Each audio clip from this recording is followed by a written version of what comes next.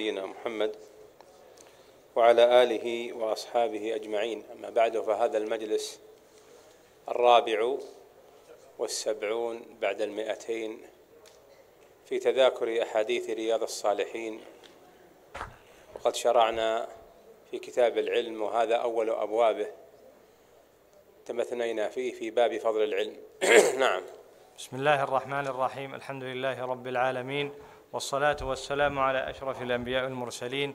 قال الإمام النووي رحمنا الله وإياه وعن عبد الله بن عمرو بن العاص رضي الله عنهما النبي أن النبي صلى الله عليه وسلم قال بلغوا عني ولو آية وحدثوا عن بني إسرائيل ولا حرج ومن كذب علي متعمدا فليتبوأ مقعده من النار رواه البخاري.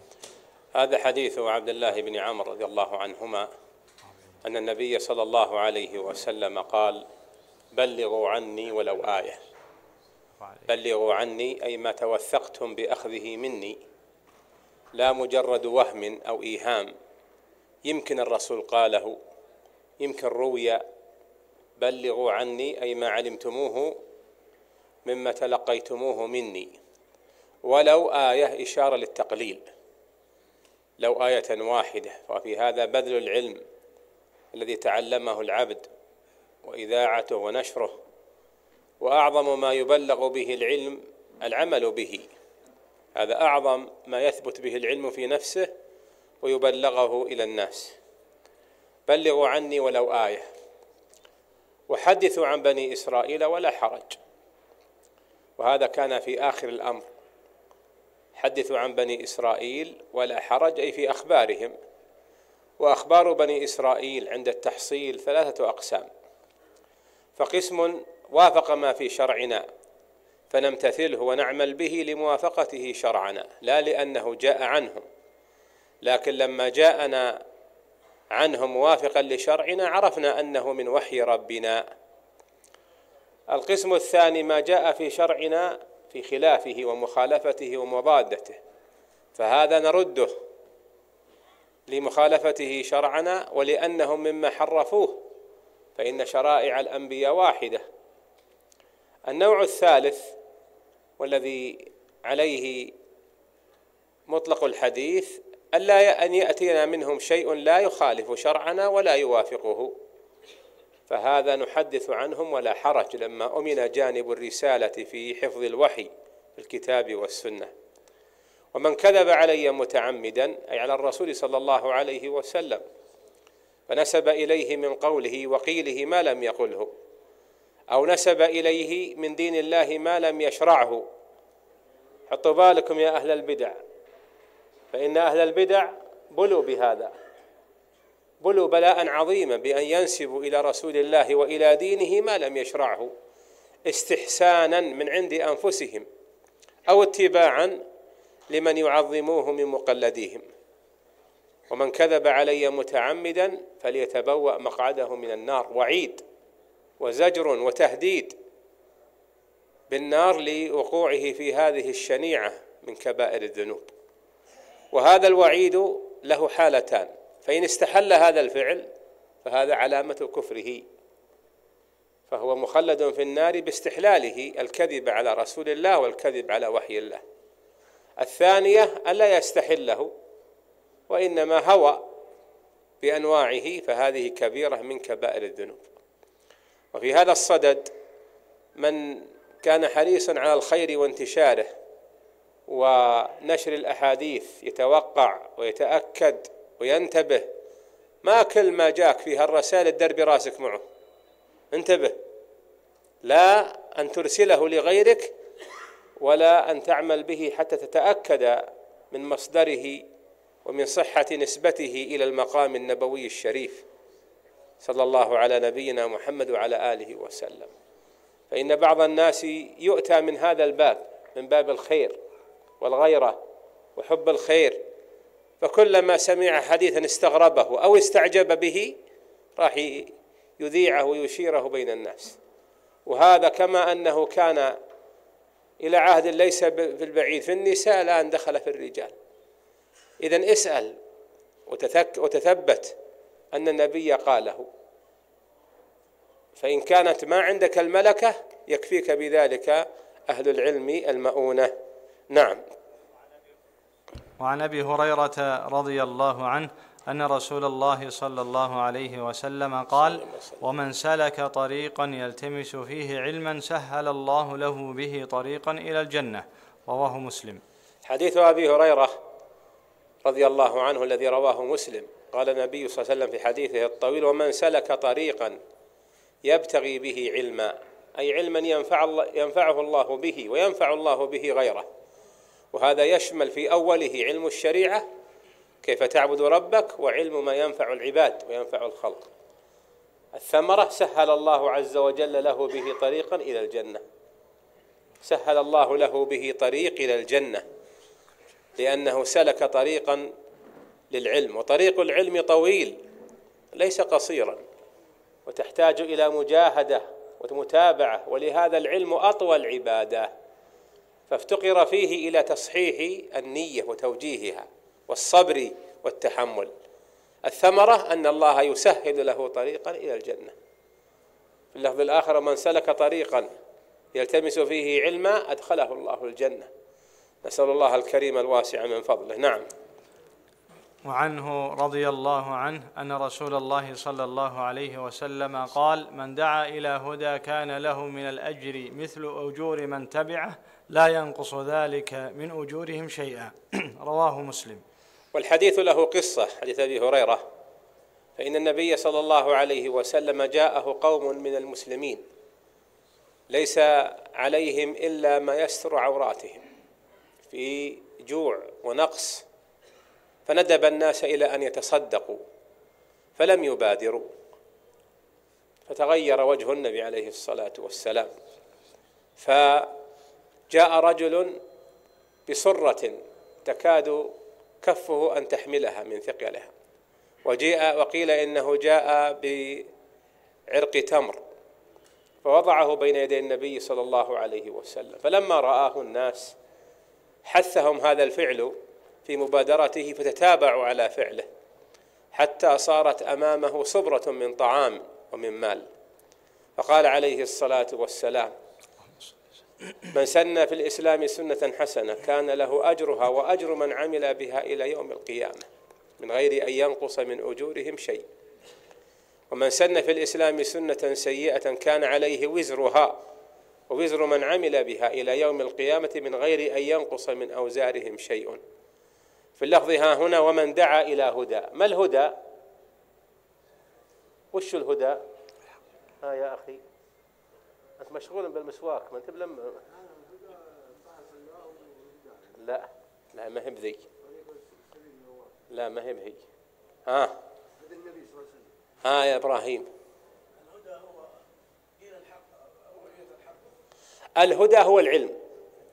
العلم الذي تعلمه من الوحي الذي به يصح العمل وبه يدعى إليه. فإن الله بعث نبيه بالعلم. ما بعثه بعوائد الناس ولا مألوفاتهم بعثه بالعلم الذي به هدايتهم. كان له أجر من عمل به أي من تسببت عليه بهذا الهدى أن يعمل به فلك مثل أجره. لا ينقص من أجور العاملين شيء فضلا من الله ورحمة. نعم. وعنه رضي الله عنه قال قال رسول الله صلى الله عليه وسلم إذا مات ابن آدم انقطع عمله إلا من ثلاث إلا من صدقة جارية أو علم ينتفع به أو ولد صالح يدعو له. رواه مسلم. اللهم صل وسلم عليه. هذا حديث أبي هريرة وأصله في الصحيحين وهو حديث ثابت صحيح جامع. إذا مات ابن آدم انقطع عمله إلا من ثلاث. انقطع عمله الذي تزداد به خيراته وأجوره إلا من ثلاث. صدقة جارية. قالوا أخرج منها الصدقة غير الجارية. صدقة الجارية أي ما جرى نفعها وأول ما يدخل فيها الأوقاف. أو ولد صالح يدعو له لأنه تسبب به والولد يشمل الولد اللي من الصلب ويشمل ما دونه. كلهم من ولده. الثالث أو علم ينتفع به. تسبب في علم ينتفع به. إما في نفسه بأن أذاعه ونشره وإما بأن تسبب في انتشار هذا العلم. فهذه مما يبقى للإنسان بعد موته. يقول قائل مرنا أن المرابط في سبيل الله يجرى عليه عمله. نقول هذا مما دل عليه الحديث.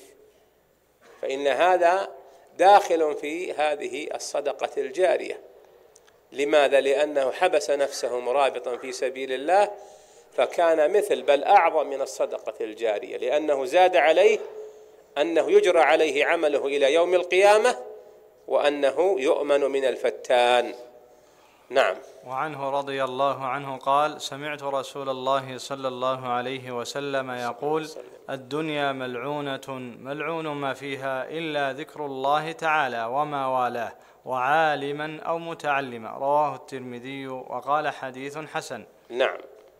وعن أنس رضي الله عنه قال قال رسول الله صلى الله عليه وسلم من خرج في طلب العلم كان في سبيل الله حتى يرجع رواه الترمذي وقال حديث حسن. في هذين الحديثين عند الترمذي في الأول يقول النبي صلى الله عليه وسلم. وش أول الحديث؟ الدنيا ملعونة. نعم الدنيا ملعونة. ملعون ما فيها إلا ذكر الله وما والاه وعالما أو متعلما. ملعونة هذا على جهة الذم. فليس المراد بها سب الدهر وإنما مراد بها الذم. فاللعن هنا بمعنى الذم. ملعون ما فيها. ما فيها ملعون لا قيمة له لا فائدة منه إلا ما استثناه الله إلا ذكر الله. كل ما كان دائرا في هذا المدار في مدامر ذكر الله أي تعظيم الله. فذكر الله أي تعظيمه وأعلى ما في جمرته عبادته وما كان من وسائل ذلك. وما ولاه أي ما كان متصلا به. عمارتنا في الدنيا البناء والزرع والنسل والحرث. هي من الأمور المباحة. فإذا كانت في ذكر الله وفي عبودية الله صارت ماذا؟ صارت مثابا عليها ماجورا لها وعالما. وهذا نصب على الإغراء ومتعلما. في فضل العلم وأن العالم والمتعلم أي النافع نفسه والنافع غيره خارج عن هذا الذم ذم الدنيا وذم ما فيها. ملحق بذكر الله عز وجل وما والاه ويشمل العلمين علم الشريعة في نفسه اولا ويشمل علم نفع الخلق ثانيا. ومن خرج في الحديث الثاني ومن خرج ليطلب العلم فهو في سبيل الله حتى يرجع. هذا المعنى العام للجهاد. المعنى العام له مجاهدة النفس ومصابرته على الطاعة والعلم من أطول العبادات. فكان فيه هذا الفضل. ما الفضل؟ أنه في سبيل الله حتى يرجع. كالمجاهد الذي يجاهد العدو بالسنان فإن طالب العلم والمتعلم لله يجاهد بالبيان والذب عن دين الله وعن حرماته. نعم. وعن أبي سعيد الخدري رضي الله عنه عن رسول الله صلى الله عليه وسلم قال لن يشبع مؤمن من خير حتى يكون منتهاه الجنة رواه الترمذي وقال حديث حسن. حديث أبي سعيد الخدري رضي الله عنه. يقول النبي صلى الله عليه وسلم لن يشبع مؤمن من خير حتى يدخل الجنة. في الجنة سيشبع ويرضى ويقنع. ولهذا الجنة ما فيها حسد. من كان في المنزلة الدنيا وما في الجنة دني لا يحسد من أعلى منه. قنع بما آتاه الله من النعيم الذي أنساه غيره. والخير هنا عام. ساقه هذا المساق لأن العلم فيه هذا الشيء لن تشبع منه. كلما حصلت منه كلما عرفت أنك بحاجة أكثر. وكلما لم تطب نفسك بما حصلت تريد الزيادة. كالذي يخوض في البحر الخضام كلما خاض فيه كلما عرف إن ما حصل شيء ما قطع منه شيء. هكذا العلم. ولن يشبع المؤمن من خير في أفعال الخير كلها. ومنها هذا العلم لأن العلم به صلاح هذه أعمال الخير في ثبوتها وفي صحتها وفي قصدها وفي تحقيق أشراطها وانتفاء موانعها. نعم. وعن أبي أمامة رضي الله عنه أن رسول الله صلى الله عليه وسلم قال فضل العالم على العابد كفضلي على أدناكم. ثم قال رسول الله صلى الله عليه وسلم إن الله وملائكته وأهل السماوات والأرض حتى النملة في جحرها وحتى الحوت ليصلون على معلم الناس الخير. رواه الترمذي وقال حديث حسن. الله أكبر. هذا حديث أبي أمامة الباهلي سدي بن عجلان. رضي الله عنه. قال النبي صلى الله عليه وسلم أوله فضل العالم على نعم فضل العالم على العابد.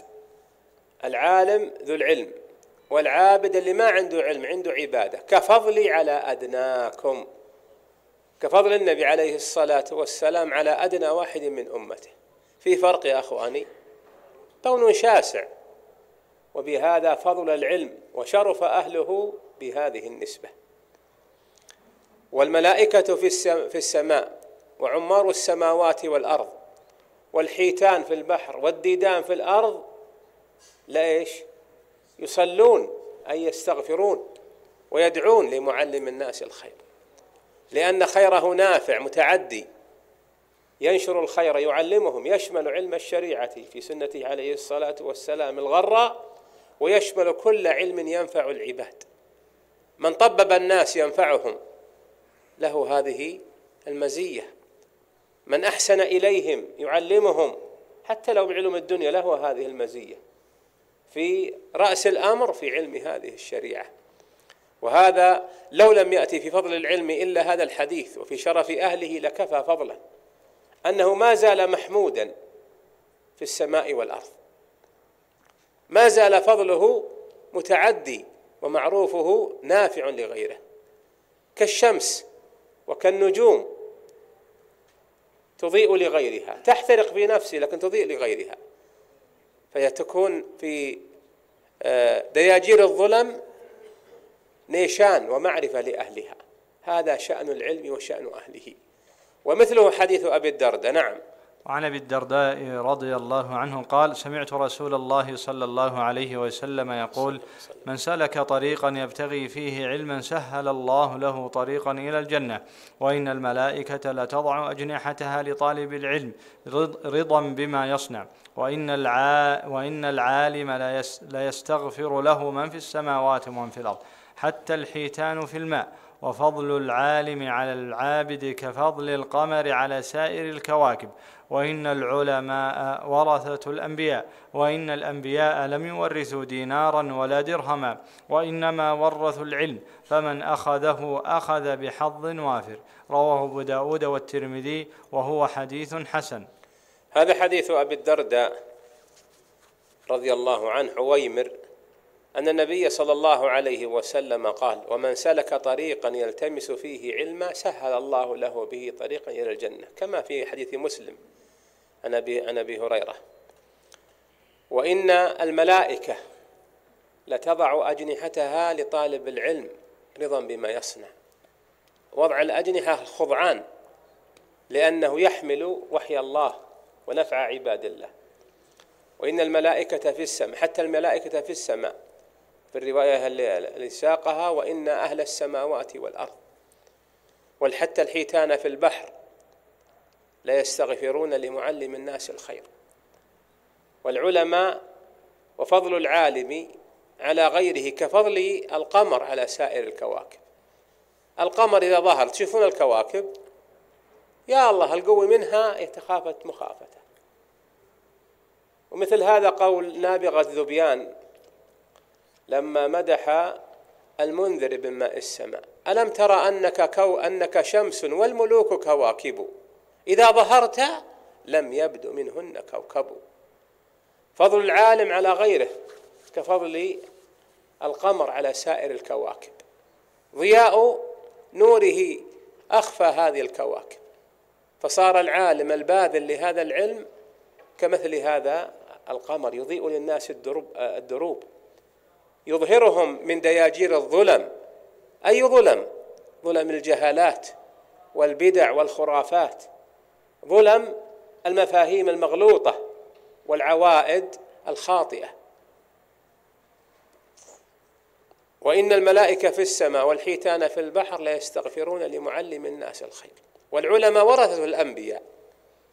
الأنبياء عليهم الصلاة والسلام ما ورثوا أموالا وعقارا ودورا. إنما ورثوا هذا العلم وهذا الدين. من أخذه؟ أخذ بحظ وافر. فهم ورثة العلماء. هم ورثة الأنبياء. العلماء ورثة الأنبياء. وفيه فضل العالم الباذل. وسيأتي شناعة العالم الكاتم الذي يكتم العلم ولا يعلمه. نسأل الله جل وعلا أن يلطف بنا وبكم وبالمسلمين. وأن يسلك بنا وبكم صراطه المستقيم ويخالف بنا وبكم طريقة أهل الجحيم. نسأل الله ذلك لنا ولكم ولوالدينا ولجميع المسلمين وصلى الله وسلم على نبينا محمد وعلى آله وأصحابه أجمعين. نعم.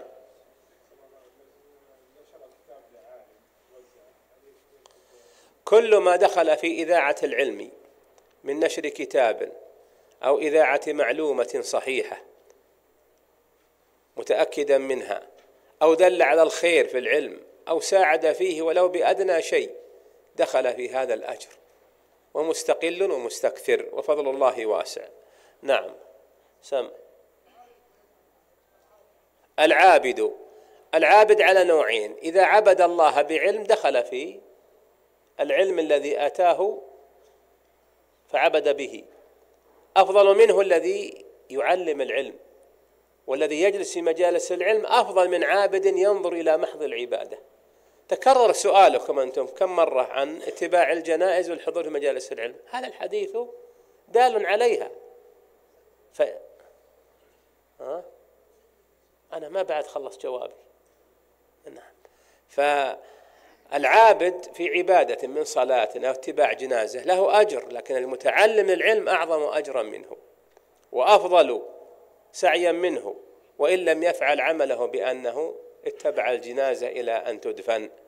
ومن استمع لها وحضرها وأفاد منها ونقلها كل هؤلاء معاوين وأعوان في نشر العلم وفي بثه.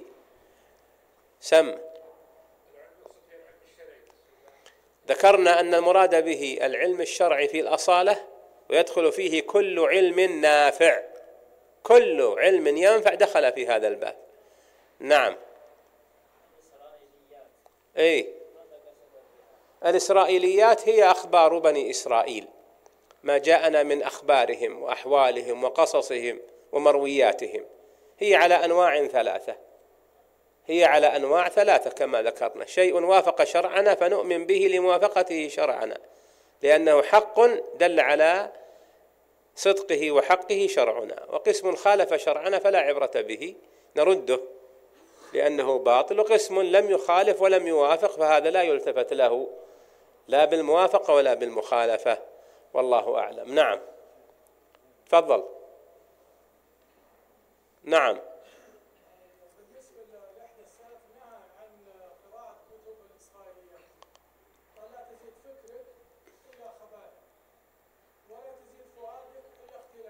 نعم.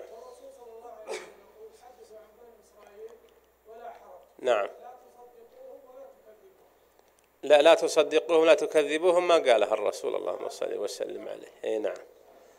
هذا على التفصيل الذي فصلناه لكم أنها على ثلاثة أقسام. أنها على أقسام ثلاثة. وابتداء لا يوصى عامة الناس ولا المبتدئون في الطلب ولا المتوسطون بأن يطالعوا في كتب بني إسرائيل. لأنهم ما يفرقون بين الحق والباطل الصح والخطأ. يمكن يشوفون شيء يعجبهم وهو سم فيه عسل فيه سم. وإنما يكون هذا لمن عنده أداة. وقد رأى النبي صلى الله عليه وسلم بيد عمر بن الخطاب ورقة من التوراة فغضب عليه الصلاة والسلام. غضب. قال وأنا بين أظهركم أفي شك يا ابن الخطاب؟ فتركها عمر رضي الله عنه. هذا هذا الذي جاء عن أهل العلم إنما هو مخافة على العبد أن يضل وأن يصدق وهو خلو من العلم. وإلا فقد علم أمر زيد بن ابن ثابت رضي الله عنه أن يتعلم السريانية ليقرأ له كتب أهل الكتاب. كم أخذنا؟ والله أعلم وصلى الله وسلم على نبينا محمد.